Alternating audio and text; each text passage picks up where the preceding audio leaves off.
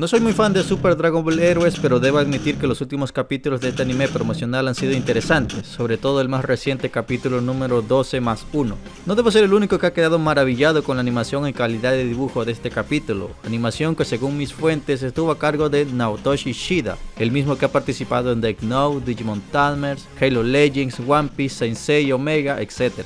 Pocos sabrán que Shida ha trabajado en Dragon Ball, Dragon Ball Z, Dragon Ball Kai y Dragon Ball Super. El animador trabajó junto a Masayuki Uchiyama, que como dije en mi top de los mejores animadores de Dragon Ball, Uchiyama fue pieza clave para la animación de nuestra serie favorita, reconocido por sus líneas rígidas y su gran cantidad de obras. Y es que Shida se ha superado a sí mismo en este capítulo. Hubieron planos y secuencias que hicieron cuestionar si de verdad el estilo de animación que vimos en la película de Dragon Ball Super Broly es la adecuada. Y aunque hubieron escenas recicladas, la coreografía de este capítulo fue exquisita.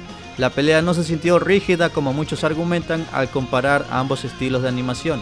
Y es que ustedes ya han de saber mi opinión sobre el estilo de animación de la última película de Dragon Ball Super Broly. Y los que no, pues se las resumo así nomás. El estilo de animación de la película de Dragon Ball Super Broly me gusta, pero hay momentos que las caras y los personajes se ven un poco raros, desproporcionados. Sé que se logra una fluidez en batalla, pero eso sacrifica bastante los detalles. Detalles que podemos apreciar como en este capítulo de Super Dragon Ball Heroes. En pocas palabras, tú puedes congelar cualquier fragmento de este capítulo y tienes una obra de arte. Y eso que dicha imagen pasó en unos segundos. Imagínate hacer toda una secuencia de dicha escena.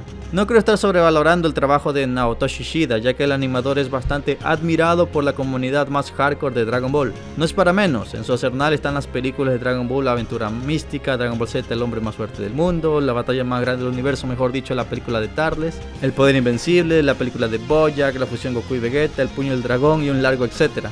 Pero en fin chicos, con este capítulo se ha demostrado que sí se puede hacer una buena pelea bien fluida, bien detallada con este estilo de animación. Así que solo me queda preguntarle a ustedes qué tipo de animación prefieren, la que vimos en la película de Dragon Ball Super Broly o el estilo de animación que vimos en el Torneo del Poder y como no en este capítulo. Como siempre sus opiniones en la caja de comentarios.